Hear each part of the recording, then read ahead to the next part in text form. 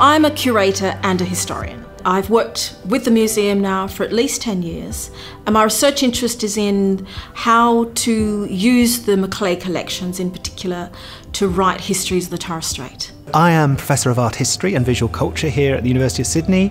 I've been very involved in uh, the curriculum of art history and the art history programme for which this museum is an absolute marvel and will be really transformational.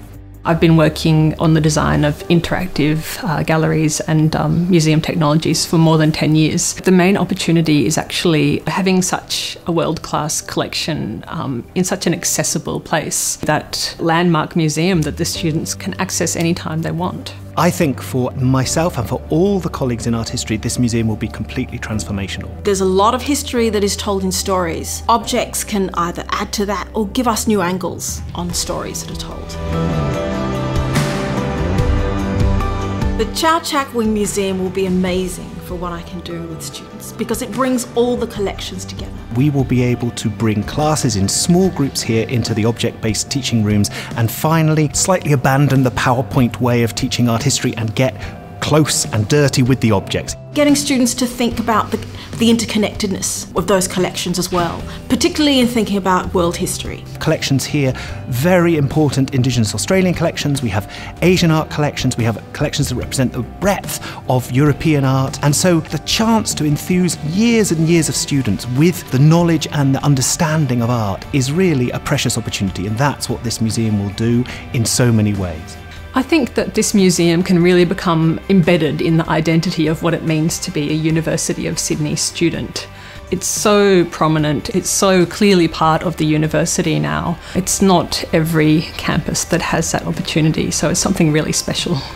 We'll be bringing students in here, enthusing them, getting them to think how deeply about what art and visual culture mean in societies, and to really grasp what it means to make, understand, and get to grips with the meaning of art.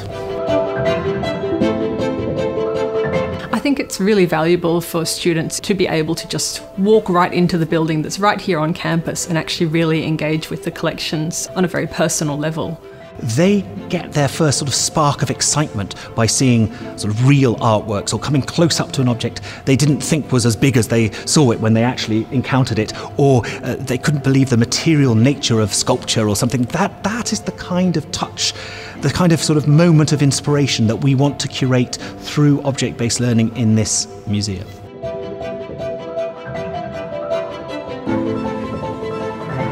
Can use the object rooms, we can look at exhibitions, we can even have objects on display in the object study rooms. I think that by embedding these, uh, these values and this accessibility um, early on in people's lives, that you can kind of create this lifelong passion for, for museums and their collections and what that actually means to us.